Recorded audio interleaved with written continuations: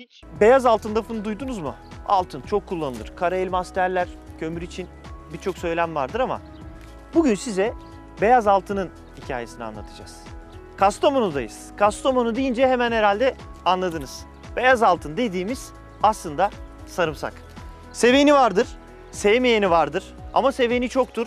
Kokusundan birazcık imtina ederiz. Hele her tarafımızı şehir sardı. Şehirde yaşıyoruz, ofislerde yaşıyoruz. Dolayısıyla kokusu aklımıza geliyor ama sarımsak.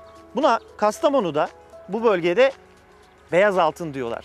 Beyaz ama bir o kadar da altın. Aromatik bir bitki bu. Çok bulunmuyor, çok yetişmiyor. Türkiye'nin de Türkiye'de en çok yetişen yerlerden birisi de işte Kastamonu. Kastamonu'da da tabii ki ünlü isim Taşköprü.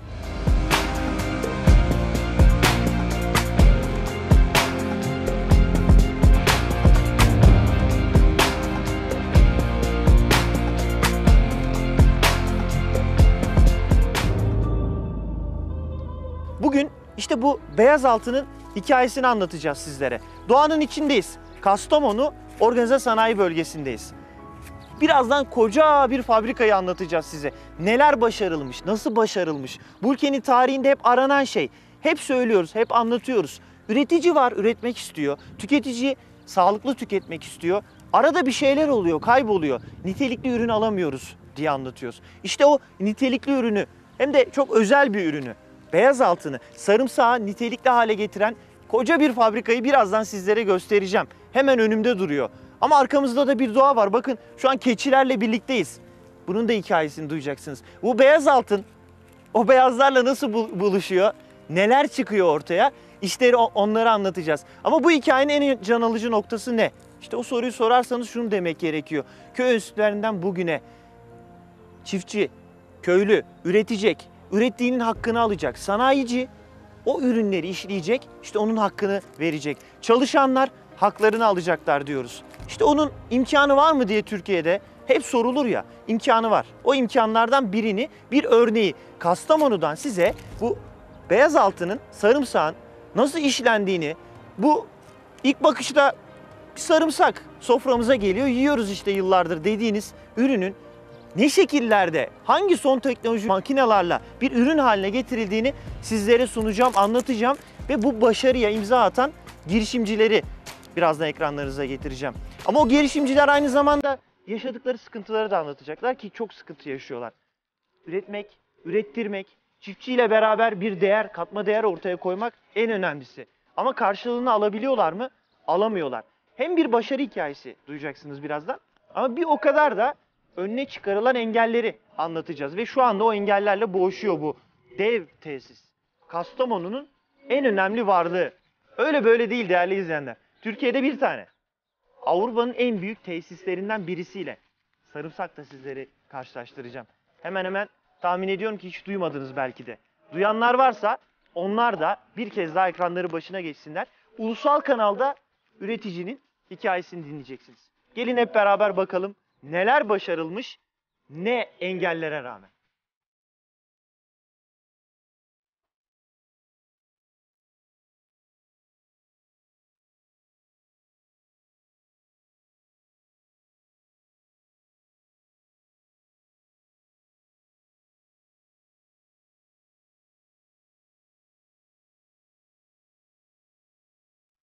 Sarımsak. İlk bakışta acaba bundan ne üretilebilir diye düşünüyorsunuzdur. Yani sarımsak hasat edilir. Hasat edildikten sonra da sofralara gider. Biz de afiyetle yeriz. Buna ne katma değer katabilir? Koca bir tesis gördünüz. Dev gibi bir fabrika. Bunca çalışan ne katabilir diye düşünüyor olabilirsiniz. Burada birçok bölüm var. O bölümlerden sadece bir tanesinin içine şimdi giriyoruz. O tesisten, o ürünlerden biri. Bakın bu gördüğünüz sarımsak dev makinelerde işlendikten sonra ve çalışanların elinden çıktıktan sonra bir örnek katma değerli ürün. Bakın işte katma değerli ürün haline geliyor. O kadar birçok aşamadan geçiyor ki o aşamadan sonra ancak bu ürün haline getirebiliyorsunuz. Türkiye'de tarım nasıl kurtulur? Türkiye'de tarım nasıl geliştirilir? O soruyu soruyoruz ya. İşte o sorunun yanıtlarından bir tanesi, naçizane. Bir örneği bu. İşte sarımsağı bir bu şekilde olduğuyla satmak var. Sofrada ulaştırmak var. Bir de böyle büyük fabrikalarda konserve birçok şekilde üretmek var. Bakın sarımsağa katma değer katılan sadece bir örnek bu. Birazdan başka örnekleri de göstereceğiz sizlere.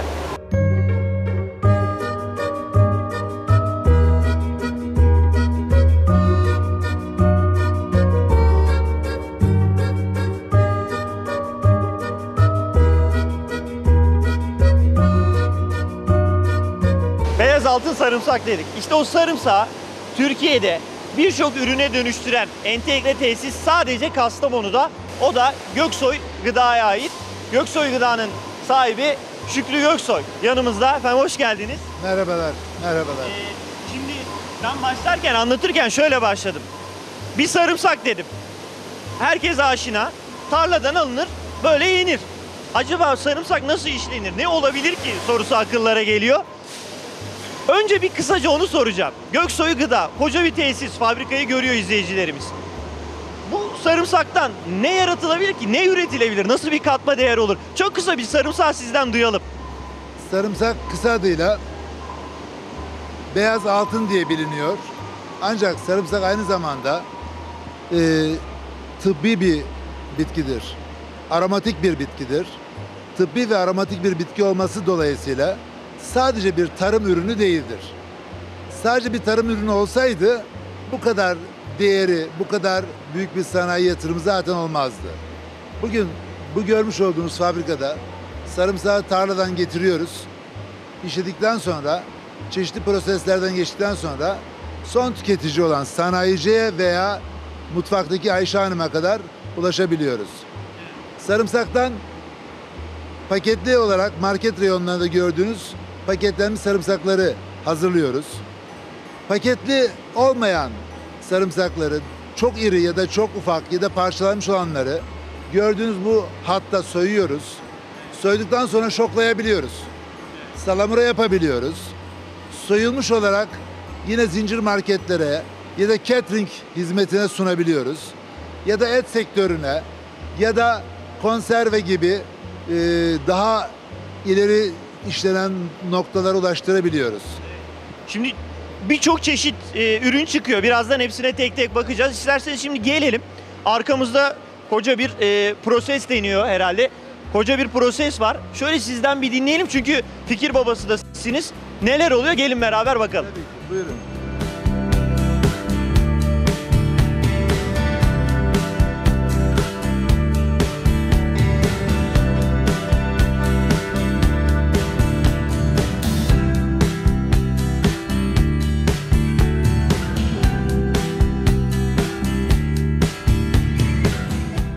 Sarımsak işlenecek.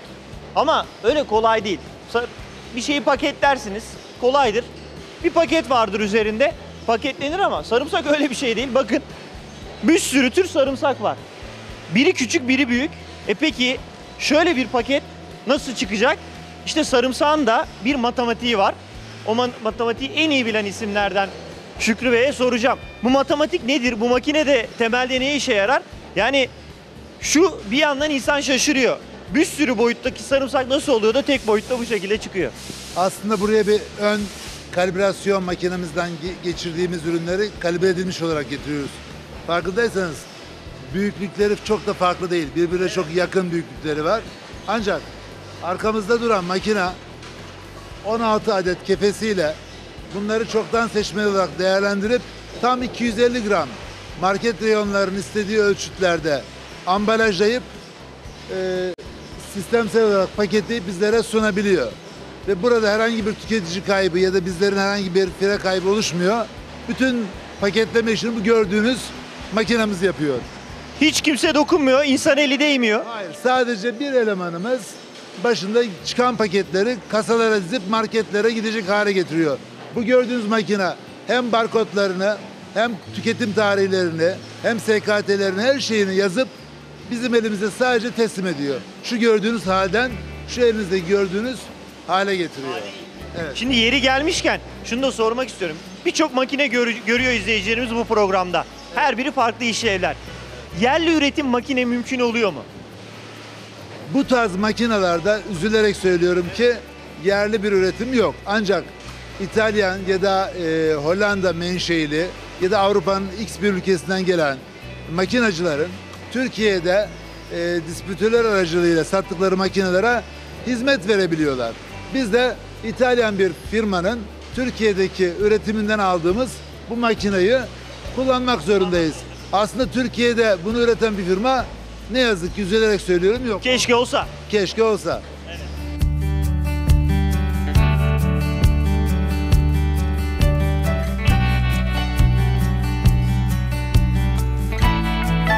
Makineyi nasıl oluyor, nasıl e, paketliyor bir anlatalım. Şimdi makinemizde gördüğünüz gibi 14 tane kefe var. Sensörler vasıtasıyla bu 14 kefe çoktan seçmeli olarak ürünleri alıyor. Standart boyutlardaki ürünleri ve bunları tam 250 gram olarak paketliyor. Ve müşterimiz doğal olarak herhangi bir kayba uğramadan hızlı bir şekilde günde 8,5 ton malı neredeyse Türkiye'deki marketlerin tamamının ihtiyacını görecek bir malı paketleyebiliyoruz. Yani sarımsağın da bir matematiği var o zaman. Tabii ki, tabii ki. Tüketim çok kritik. Ürettiğiniz güzel ama tüketiciye nasıl ulaştırdınız? Bugünün dünyasında işte bunu başardığınız andan itibaren katma değer yaratıyorsunuz. Pazarda gittiniz. Sarımsak seçeceksiniz, alacaksınız, tarttıracaksınız. Ama işte burada başarılan bir nevi standa- standartizasyon değil mi? Kesinlikle. Üretici veya tüketici standart ürün ürettiği zaman mutluluğa ulaşabiliyor. Tüketici herhangi bir pazara gittiğinde ürünü kendi eliyle tek tek seçmeyi sever. Ancak biz onun her ürünü seçmeyi sevdiğini bildiğimiz halde onun adına onun yorulmasını engelleyerek, seçerek, ayıklayarak, standart gramajlarda paketleyerek tüketiminin sağlanmasına yardımcı oluyoruz. Bu paketlerde sürpriz yok. Evet, evet asla. Yani bütün ürünler tek tek kontrolden geçiyor. Hem bantlarda işçimizin elinden geçiyor hem ayıklama ve kalibrasyon bantlarından geçiyor. Hem son paketlemede yine kontrollerden geçtikten sonra paketlemeye gidiyor. Paketleme makinemiz de zaten bunu standart bir şekilde paketleyerek market tüketicilerin hizmetine sunuyor.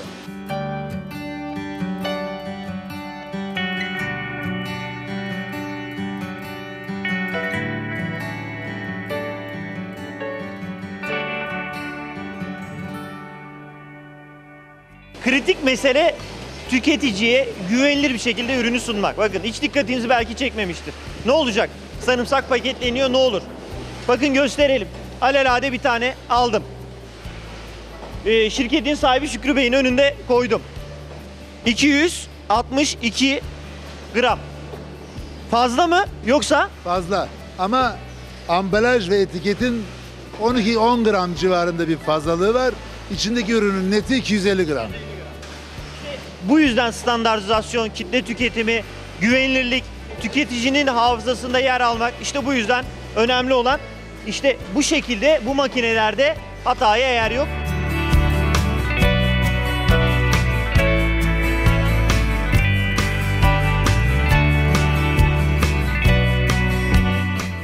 Türkiye'de tarımın en büyük sorunlarından biri. Fiyatlar dalgalanır. Depolama değil mi? En önemli meselelerden biri. Türkiye'de tarımsal ürünlerin depolaması belli başına bir büyük problem. Sürekli fiyatlar iniyor çıkıyor. Kötü zamanda çiftçi biriktiremiyor. Kesinlikle. Şimdi üretici fazla ürettiği malları ya da fiyatın düşük e, seyir ettiği durumlarda malını nereye satacağı konusunda kaygılar taşıdığında depolama imkanı yoksa ya ürününü e, ziyan ediyor ya da daha çok ucuz fiyatlara elinden çıkartmak zorunda kalıyor. Oysa bizim fabrikamızdaki 1800 metrekarelik bu sadece sarımsak depolamak üzere kurulmuş bir soğuk havası olmuş olsa ya da bu soğuk havalara getirip malını koysa e, herhangi bir depolama sorunuyla karşı karşıya kalmayacak. Çünkü Tüketici kafası rahatlayacak. Rahat. Evet. Daha ürünün yüksek fiyatlı olduğu zamanlarda gelecek buradan ürününü alabilecek. Evet. e, şimdi göreceğiz o depolardan birini ama önce bir şunu sormak istiyorum. Kastamonu'da yani sarımsağın e, diyelim ki ana vatanı. Hiç başka soğuk hava deposu var mı? Kastamonu'da ne yazık ki 30 bin ton civarında sarımsak üretilmekte. Ama böyle bir soğuk hava tesisi, böyle bir entegre tesis böyle bir yer yok. O kritik sözcüğü. Hem entegre dediğimiz bu mu tam olarak? entegre budur. Bizim birazdan göreceksiniz. Kirli alanlarımıza, rampamıza sarımsak gelir. Çiftçinin ÇKS kayıt belgeleri, adı, soyadı, hangi tarlada üretildiği, varsa belgelendirmesi İTU gibi ya da Eurogap e, gibi belgeleri varsa bunlar kayda alınır. E, merkez sistemdeki e, bilgisayarımıza bu bilgiler aktarılır. Kirli alandan çıktıktan sonra tekrar o hangi çiftçiden gelmişse o ürün tekrar ayrıştırılmış halde değerlendirmeye tabi tutulur. Birinci sınıf mal, ikinci sınıf mal, endüstriyel mal ve sap ve çöp ne kadar çıktı ve hangi çi- çiftçimiz hangi verimlilikte e, üretim yapmış bunu ölçütlendirebiliyoruz. Yani entegre dediğimiz aslında Türk tarımında olması gereken devrim. Entegre tesislerle dediğiniz gibi giriyor, temizleniyor, soğuk hava deposunda bekletiliyor, paketleniyor, tüketicinin önüne tertemiz konuyor. Örneğin bizim sarımsak saplarımızı biz asla atmıyoruz. Sarımsak saplarımız e, küçük bir e, hayvancılık işletmemiz var. Keçi çiftliğimiz var. O keçilerimizin beslenmesinde kullanıyoruz. Kaldı ki sarımsak e, saplarımızı sadece kendimiz kullanmıyoruz. Çevremizde bulunan birçok küçükbaş hayvancılık yapan insanlara, İzbeli çiftliği gibi ya da başka çiftliklere bu e, sarımsak saplarımızı vererek onların hayvanların beslenmesinde de önemli bir katkı maddesi olduğunu gösteriyoruz. Birazdan gideceğiz onlara da bakacağız ama şimdi gelin. Bakın değerli izleyenler. Soğuk hava deposu. Çok bahsedilir. Tarım, sorun bir türlü depolayamıyoruz denir. Kastamonu'da yapmışlar. Nasıl yapmışlar? Bakın gördüğünüz gibi bu bir tane değil değil mi? Bu fabrikada bu soğuk hava depolarından her biri 400 metrekare ve 6,5 metre yüksekliğinde olmak üzere bir ses duyuyorsunuz. O ses de içindeki ağır gaz metalleri defrost etmek suretiyle e, sadece sarımsakla ilgili iklimlendirmesi olan tam tamına 8 tane depomuz var. Bu depoların toplam kapasitesi 2500 ton sarımsaktır. Lisanslı depoculuk benim hayalimdir. Çünkü Kastamonu'da 30 bin ton sarımsak üretilirken bu üretilen sarımsak çiftçi tarafından e, kara depo denilen evinin altındaki ya da samanlığında damındaki iptidai yerlerde saklanmakta. Bir ton ürün koyduğunda işte 3 ay, 4 ay, 5 ay sonra bunu satmaya kalktığında sürece göre çok yüksek fireler oluşmakta. Örneğin bu fireler bazen yüzde yüze bile çıkabilmekte. Oysa bizim bu ağır gaz metalleri defroz ettiğimiz, iklimlendirmesini yapabildiğimiz soğuk depolarımızda çiftçi lisanslı depoculukla bizim buraya ürünü getirip sakladığı takdirde herhangi bir fire olayıyla karşı karşıya kalmayacak. Şükrü Bey, şu soru geliyor çiftçinin aklına. Ya ben onu tabii evin altına koyuyorum bedava. Evet. Buraya getirdim. Ben bunun üzerine ürünümü zaten belli bir fiyata satabiliyorum. Çok mu zarar ederim? Çok mu masraf öderim? Öyle mi gerçekten? Biz kendi ürünümüzü e, yılda 600 ton kendim sarımsak üretiyorum. İTÜ sertifikalı. Aynı zamanda Türkiye'de ÇKS kayıtları üzerinde Türkiye'nin en büyük sarımsak üreticisiyim.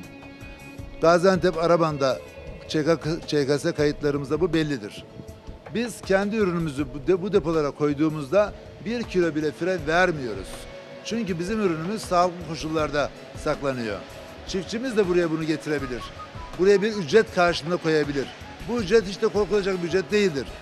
Türkiye'deki e, işte Mersin, Adana ya da İzmir ya da İstanbul'daki birçok soğuk depolarda ton başına 20 dolarlık bir ücret almaktalar. Biz de kendi depolarımızı çiftçimize ton başına aylık 20 dolarlık bir ücretle açabiliyoruz. Ve gelip buraya ürünlerini gönül rahatlığıyla koyabilirler. E, Borsaya tescillerini yaptırıp tarafımızdan mallarının teslim alındığına dair kayıt belgeleri kendilerine sunulabilir. Güvenle buraya mallarını bırakabilirler. Yer var. Kesinlikle.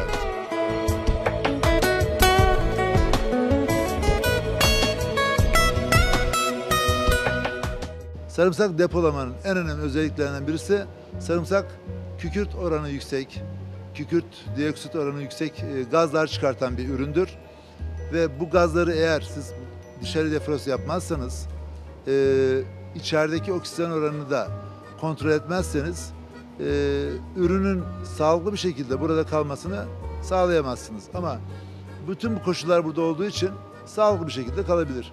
Eğer arkadaşımız içeri girip de şöyle bir şey yaparsa yukarıdaki evaporatörlerin ya da havalandırma bacasının e, farkına varacaktır. hem ev operatör- ev operatörlerimizle, havalandırma bacamızla hem de arkada sesini duyduğunuz ilk nemlendirme cihazımızla ve e, ağır gaz metalleri atan cihazımızla burası tam tamına bir sarımsak deposu.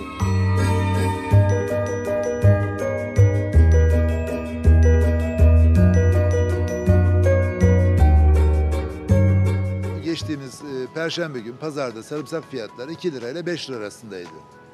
Ama bu rakam zaman içerisinde işte alt tabanı 3 lira, 4 lira veya üst tabanı 7 lira, 8 lira gibi rakamlara çıkabiliyor.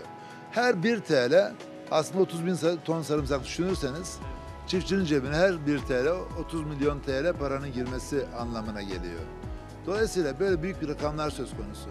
Sarımsağın e, aromatik bir bitki olması, işte çok e, özellikle kullanım alanının çok geniş olması, ne bileyim işte sadece etçiler değil, e, et işleyen, salam, sucuk, sosis yapan yerler değil. Aynı zamanda e, konserveciler, aynı zamanda turşucular, aynı zamanda e, şoklanmış halde catering'e mal satan firmalar e, buna talip olduğu gibi bir de bizim e, kendimizin işte birazdan e, yine çekimlerde göreceksiniz fırın sistemimiz var içeride. Sarımsağı parçalayıp granül hale getirip toz hale getirip işte çok daha büyük çorba sektörüne, hazır çorba sektörüne ya da baharat karışımcılarına, e, harç yapan, baharat harcı yapanlara bunu satabiliyoruz. Türkiye'de e, sadece baharat harcı yapanlar ya da çorba e, hazır çorba sektörü ya da diğer donukçular ya da diğer e, salam, sucuk, sosis yapan, e, turşu ve e, konserve yapanlar yılda 20 milyon dolarlık Çin'den ya da gayri resmi İran ve diğer ülkelerden, üçüncü veya ikinci ülkelerden geçen sarımsakların Türkiye'ye 20 milyon dolarlık bir zararı var. Böyle bir tesisin, bu tesise benzer başka tesislerin kurulmasının Türkiye'nin 20 milyon dolar parasının yurt dışına gitmesini engelleyecektir. Ancak bizler yani e, özellikle Türkiye'de bu yatırımı yaparken spesifik bir yatırımdır bu. Herkesin yapabileceği, cesaret duyabileceği bir yatırım değildir. Bu işe gönül veren, bu işe inanan, çocukluğundan ve geleceğine dönük olarak bu işe inanmış insanların yapacağı bir yatırımdır. Çok e, zor ve çok değerli bir yatırımdır. Dolayısıyla böyle yatırımları yapıp çalıştırmak e, ve ülkenin 20 milyon dolarlık bir parasının yurt dışına gitmesini engellemek en büyük idealimiz. Biz e, iki gün önce burada Sanayi Bakan Yardımcımız Hasan Ali Bey vardı. Kendisi olayı yani fabrikamızı gezdi, olayı yerinde tespit etti ve şöyle bir cümle kullandı. Böyle yatırımlara Türkiye'nin ihtiyacı var. Türkiye'nin kalkınmasının üretim kalkınması olduğunu inanıyorum ve bu yolda da sizleri destekleyeceğim diye bir cümlesi var. İşte biz böyle e, cümleleri yani bizi yöneten hükümetten veya e, devletimizin üst kademesindeki bürokratlardan duydukça mutlu oluyoruz. Yeri gelmişken sorayım. Geldik madem bu konuya. Şimdi burayı kurarken herhangi bir destek teşvik aldınız mı? Ben burayı kurarken e, tabii ki destek ve teşvik almak için müracaatlarım oldu. Ancak konusu değil, burada anlatmak da istemiyorum. Çok büyük zararlar yaşadık. 15 Temmuz sürecinde bunlar zaten yaşandı ve Türkiye bunlardan çok büyük zarar gördü. Ben 1 milyon 100 bin lira hazine teşviğimi kullanamadım. Ben tarımsal kalkınmadan kaynaklı birçok teşviklerimi, SGK indirimlerimi, vergi indirimlerimi kullanamadım. Şu yüzden sordum. Hiç teşvik almadan bunu yaptınız. Şimdi izleyicilerimiz şunu düşünsünler. Burası bir de teşvik ve destek alsa bakan yardımcısının söylediği gibi nerelere gider? O zaman e, Çin gibi bir ül- ülkeye sarımsak satar hale geleceğiz. Çünkü Türkiye sarımsak üretimini bizim gibi bir firma ve fabrika desteklediği sürece, Türkiye'deki insanların sarımsak üretimine önemi ve ilgisi arttığı sürece Türkiye ihracatçı ülke haline gelecek. Bu sene ilk defa 2017 üretimiyle Türkiye ihracatçı ülke olabilir ışığı doğdu. Ve hatta yurt dışından, Katar'dan veya Avrupa'nın diğer ülkelerinden şu an bize talepler var. Ee, birkaç gün sonra buraya yurt dışından misafirlerimiz gelecekler. Muhtemelen büyük bir bağlantı yapacağız. Ama zorluklar içerisindeyiz. Bu zorlukların e, en büyüğü de bankalarla alakalı. Bankaların e, yapılandırmalarını yaptığımız halde, taksitlerini ödemeye çalıştığımız halde sermaye desteği, işletme sermayesine destek duyuyoruz. Bu işletme sermayesi duyduğumuz destek yani her yerimizden belli oluyor. Çünkü ihracat yapmak istiyorsunuz. Ham maddeyi alıp e, yapabilmeniz için bir süreç gerekiyor. bir vade gerekiyor. Bunu sağlayamadığınız zaman ham madde alamıyorsunuz. İhracatı gerçekleştiremiyorsunuz. Bu sefer de ne oluyor? Hem ülke kaybediyor hem biz kaybediyoruz. Bankacılar tefeci gibi davranmadığı bir ülkede, davranmadığı bir zamanda bizim gibi insanların, üreten insanların desteklendiği bir yerde bizler de başarılı olacağız.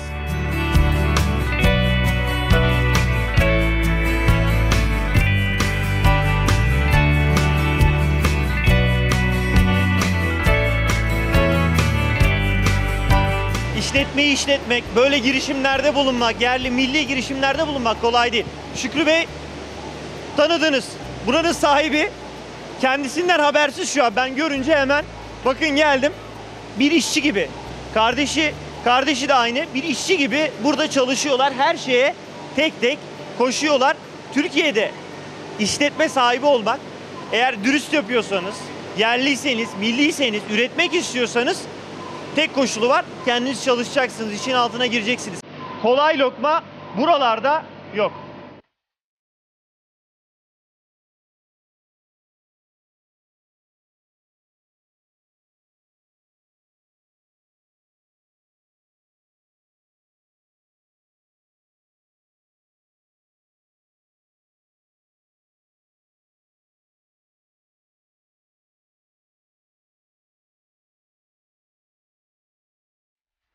Makineyi tanıyalım. Ne yapılıyor? Nereden başlıyor?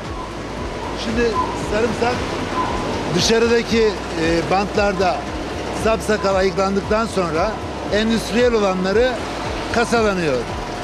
Endüstriyel olanları bunlar. Bu endüstriyel ürünler burada kırılmak suretiyle gördüğünüz gibi şu sistemde kırılıyor. Kırıldıktan sonra aspirasyonla kabukları emiliyor ve tamburdan geçiriliyor. Tamburdan geçen sarımsaklar direkt fırına gidiyor. Fırına gittikten sonra fırında 40 derece sıcaklıkta halk arasında kavlatmak denir. Kabukları kavlatılıyor. Ondan sonra soyma bölümüne geçiyoruz. Soyulduktan sonra da havuza düşüyor. Neden? 40 derecede kavlatılan sarımsak soyulma sırasında belli bir iç ısı yükseltisine sahip oluyor. İç ısısı yükselen sarımsak havuzda soğuyor. Soğuduktan sonra yıkanmak suretiyle e, işçilerin banttaki tezgahın önüne geliyor. Banttan geçen, gördüğünüz gibi banttan geçen sarımsakların içindeki lekeli olanlar, çöp olanlar ayıklandıktan sonra tekrar boyutlama tamburuna ve tekrar yıkamaya gidiyor. Ondan sonra da son tüketicinin emrine sunuluyor. Sunuluyor. Tabii değerli izleyenler burada çalışanlar biz şöyle izledik birazdan çalışanların e, mekanlarını, revirlerini, yemekhanelerini de göstereceğim ama bir de onlara mikrofon uzatalım. Neler hissediyorlar? Bir hanımefendi var. Sizi rica edelim. Şöyle ortaya alalım. Ee, burada çalışıyorsunuz. Göreviniz ne? Gıda mühendisiyim. Kastamonu'da tek, hatta Türkiye'de tek bir e, işletme. Böyle bir yerde çalışmak neler düşündürüyor sizlere? Güzel bir şey. Çok kişiyle çalışıyoruz. Birçok kişiye istihdam sağlıyoruz. Ve dünyaya açılmayı planlıyoruz ki zaten ihracatımız e, pazarlama şirketleriyle var. Büyüyeceğiz. Daha da büyüyeceğiz inşallah. Bu şekilde. Azim çok önemli.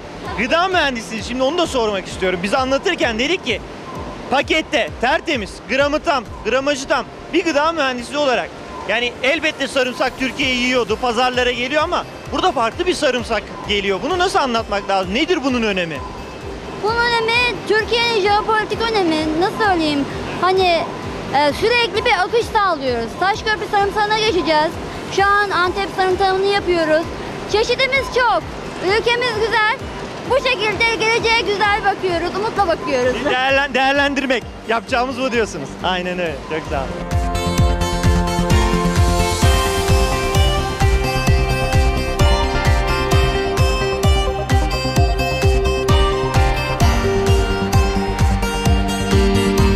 Gıda. Tarım diyoruz ama en sonu bu gıda. Yiyoruz. Çocuklarımıza yediriyoruz. Ve en çok belki de kaygı duyduğumuz konulardan biri sağlıklı mı? Hele hele tarım ürünleri olunca aklımıza şu geliyor. İçine neler katılıyor? Katkı maddeleri var mı? Akıllardaki sorular. Sarımsakta da eminim paketleri görünce zaten aklınıza gelmiştir. Acaba neler konuyor bunun içine diye. Soralım birinci elden. Sarımsak burada. Hatta, hatta soyulmuş Ye- yenecek halde. Katkı maddesi Tüketime hazır. tüketime hazır. Katkı maddesi var mı bunun içinde? Sarımsağın bir dişi bile Göksoy Gıda'nın Gaziantep Araban'da kendi 300 dönümlük ÇKS kayıtları ile ürettiği sarımsak. Yılda 600 ton ile 700 ton arasında sarımsak üretiyoruz. Bu da şu anlama geliyor. İyi tarım sertifikalı üretim yaparak ürünün yüksek kimyasal katkılar almasını engelliyoruz. Yani ürüne yüksek derecede kimyasal gübreler atmıyoruz. Kontrollü bir tarım yapıyoruz. Bunun adı İTU yani iyi tarım sertifikası. Bu Avrupa'da Eurogap e, Global Gap sertifikalarına denk gelen bir sertifika. Türkiye'deki adı İTU sertifikası. Dolayısıyla bu görmüş olduğunuz sarımsağın içinde de herhangi bir fosfor fazlalığı, potasyum fazlalığı, azot fazlalığı yok. Doğal. Gayet doğal değil ama doğala çok yakın kontrollü üretim yapılmış bir sarımsak. Doğal dersek katkısız anlamı taşır. Biz bunu kontrollü kimyasal gübre atıyoruz. Ama Ama da doğrusunu söylüyorsunuz. vahşi vahşi bir kimyasal gübre e, atımı yaparak ürünü kendi formasyonun dışına ve kendi özelliklerin dışına taşımıyoruz. Gayet konservecilerin, e, etçilerin ya da e, turşucuların ya da catering firmalarının çok rahatlıkla alıp güvenle kullanabileceği bir sarımsak üretiyoruz.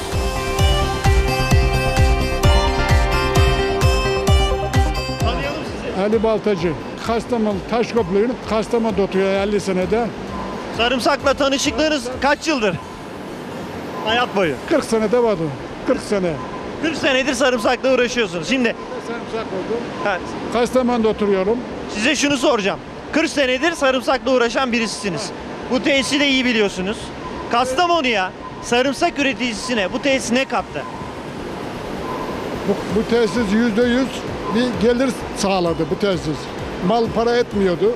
Burası bir sağladı mesela bir şey büyük bir şeyle kurdu. Bu böyle bir fabrika bir yerde yok. Dört dörtlük mesela.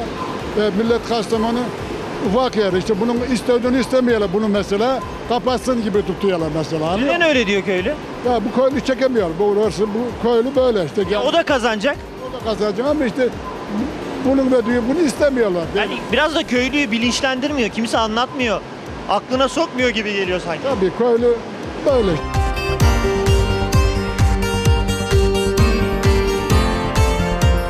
Değerli izleyenler, tabii üretim alanını gösteriyoruz. Bir fabrikayı sizlere tanıtıyoruz. Orada emekçiler var. En önemlisi bu üreti, bu artı değeri üretenler onlar. Onları besleyen, onlara katkı sunan da eee, bir hanımefendi var burada, aşçımız. Merhabalar, isminizi öğreneyim mi? Vasfiye Ahmetoğlu. Kaç kişiye yemek çıkarıyorsunuz? Şu anda 40 kişiye çıkarıyorum. Burada sarımsak fabrikası olunca aklıma şu soru geliyor. Yemeklere sarımsak atıyor musunuz? Gerekli yerde katıyorum tabii ki sarımsak fabrikası olduğu için. Mutlaka. Peki Kastamonu'sunuz? Evet Kastamonu. Kastamonu'da böyle bir tesisin olması sizce önemli mi? Katkı sunuyor mu? Evet. Evet memnun çünkü bizim kendi ülkemizde böyle bir şey bu katkı sağlaması bize, milletimize, çevremize yani çok güzel bir şey.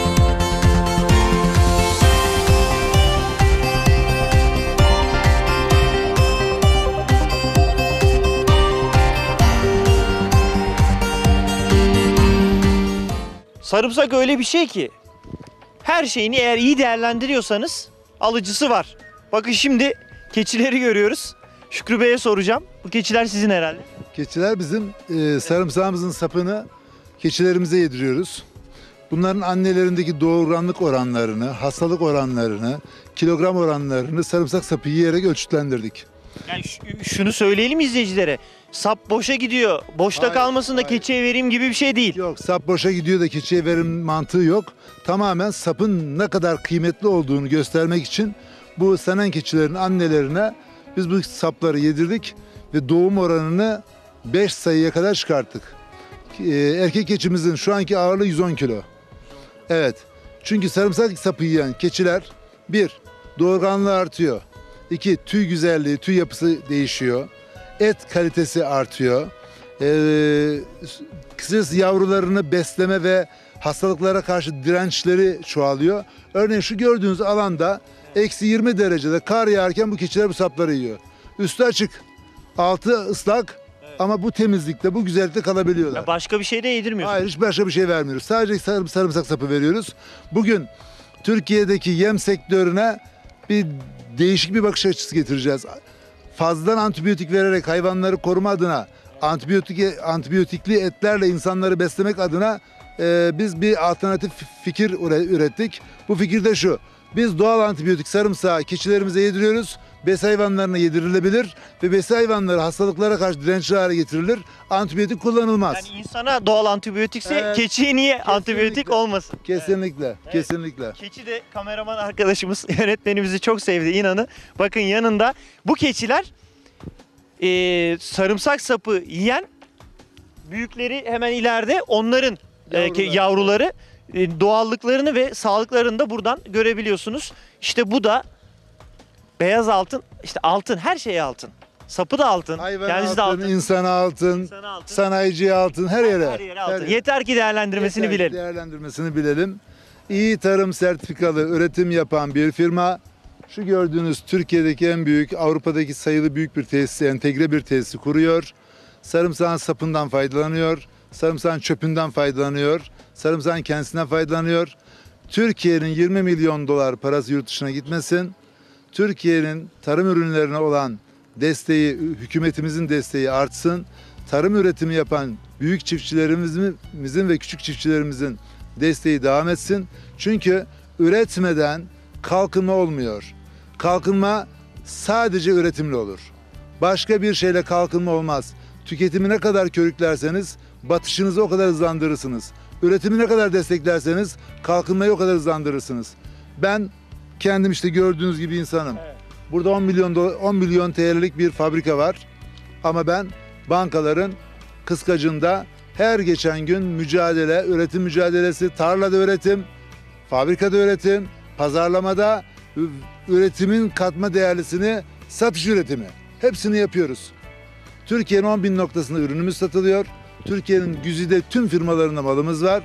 Ayakta durmak için sadece hükümetimizin geçenlerde gelen Sanayi Bakan Yardımcımız Hasan Ali Bey'in dediği gibi biz üretenin yanındayız. Sözünü duymak ve yaşamak istiyoruz.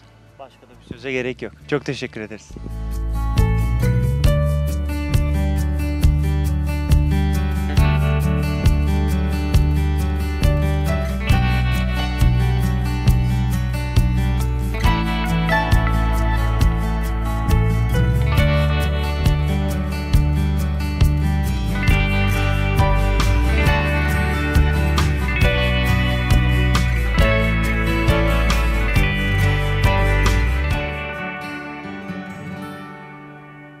Ülkenin üretime ihtiyacı var değerli izleyenler. Gerçek üretime. Sahte değil, gerçek.